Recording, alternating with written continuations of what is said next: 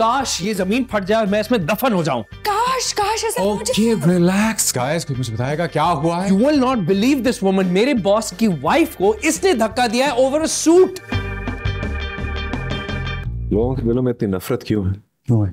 क्योंकि लोगों को लगता है कि नफरत करना आसान है और मोहब्बत करना मुश्किल। वैसे साहब नज़र नहीं आ रहे? साहब नहीं आज़ाद लेकिन तुम्हारा नाम तो सजाद नहीं था? जी। आजाब उर्फ़ सजाद।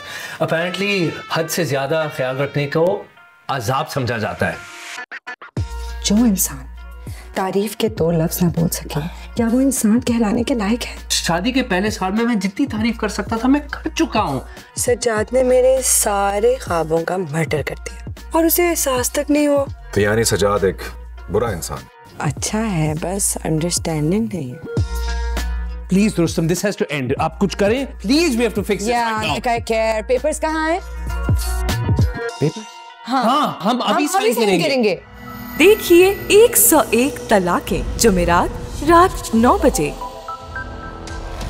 क्योंकि मैं ग्रीन हूँ।